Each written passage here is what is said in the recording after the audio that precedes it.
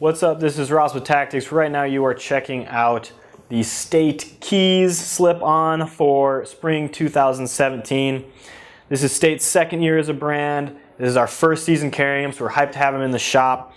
What you're getting, kind of classic looking skate shoes with a lot of great features that will make them great skating shoes. We haven't had the chance to skate them yet, but we'll have some wear tests going. So hyped to see how they hold up. But from a spec perspective and just putting them on my foot, they feel really comfortable. The Keys is definitely one of my favorites in the line.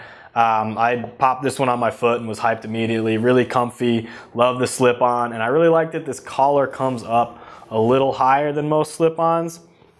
Give you a little more of a snug fit, a little bit more of a protection, even though that collar is really, really thin up there. So not gonna mess with you, but we'll give you a great comfy skating shoe.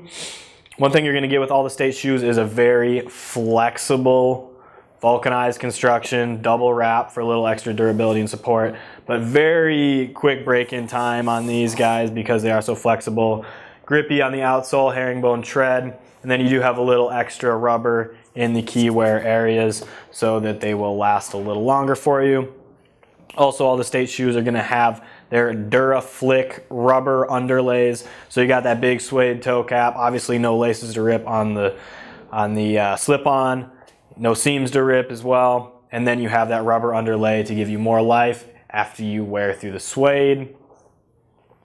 Other really cool thing, especially since they have that really thin flexible construction, is you do have a polyurethane insole with some nice cushioning under the heel not super thick, but definitely enough to give you some impact protection and just overall comfort. Thinner on the toe, and its polyurethane material is going to definitely last longer. It's not gonna pack out as quickly as a lot of foams will. So great all around shoe. I really love a good vulcanized shoe with a solid insole. Like I said, hyped to get these on the feet of our skate team riders and these ones as well. I've been really thinking about picking up a pair for myself. Get some wear tests going and see how they hold up over time. If you want to know anything more about this shoe, this is the Keys slip-on for State Footwear. Go ahead and drop your comments in the box below, ask any questions you have, or head over to tactics.com to check them out.